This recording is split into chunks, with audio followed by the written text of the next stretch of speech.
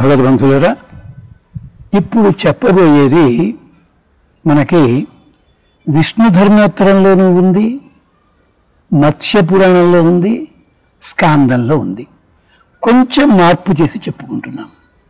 దీని పేరు ఏమంటారంటే సార్వభౌమ వ్రతము మీరు రియల్ ఎస్టేట్ వాళ్ళ ఇబ్బందులు వస్తున్నాయా?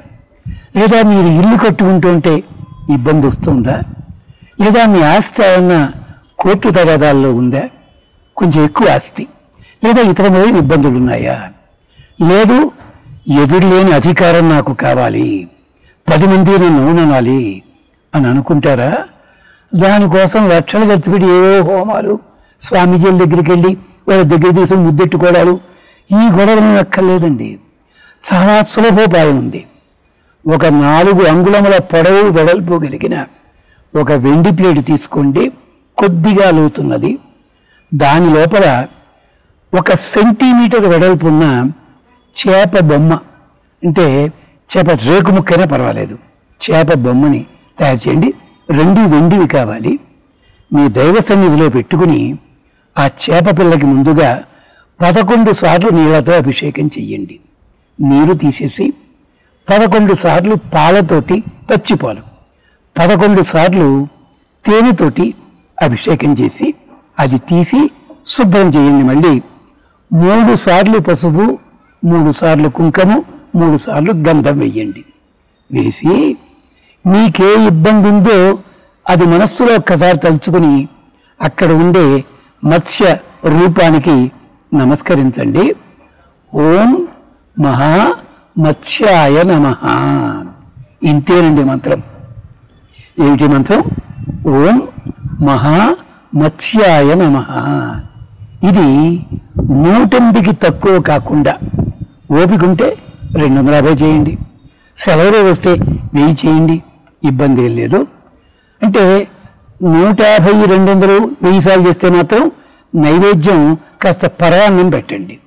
రోజు అంటే పాలు నివేదన చెయ్యండి ఓం మహామత్స్యాయ నమ.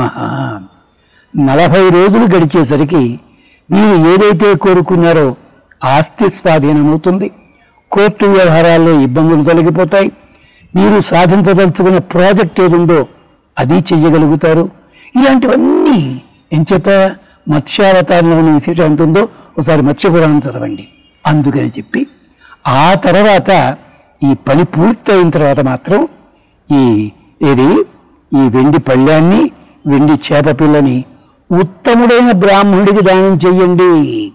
మళ్ళీ ఆయన సగనైనా అమ్మేసుకోకూడదు మరి ఏం చేయాలి? వాళ్ళు దొరకకపోతేనండి హాయిగా మీ ఇష్టదైవం దేవాలయంలోకి వెళ్ళండి. అక్కడ హుండీలో వేసి నమస్కరించండి. అక్కడ పూజ చేసుకోండి. ఇది దీని పేరు సార్వభౌమ వ్రతము ఆస్తికి కానీ పరిశ్రమలకు కానీ ఉత్తమగతికి కానీ లేదా అధికారానికి కానీ ఇలాంటి వాటికి ఉపయోగిస్తుంది. ఏమనుకోకండి. కాస్త దీనికి చేప పిల్ల బొమ్మను ఆ తర్వాత ఏమిటది? ప్లేట్కి మాత్రమే అవుతుంది ఖర్చు.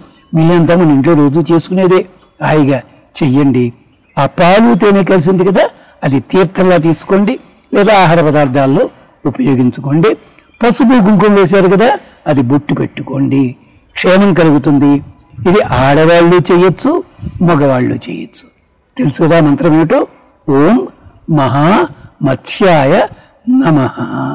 చేయండి. మినిమం నూట ఎనిమిది సార్లు గరిష్టంగా వెయ్యి ఎనిమిది సార్లు. మీ ఓపిక మీ అభిరుచి మీ అవకాశం స్వస్తి.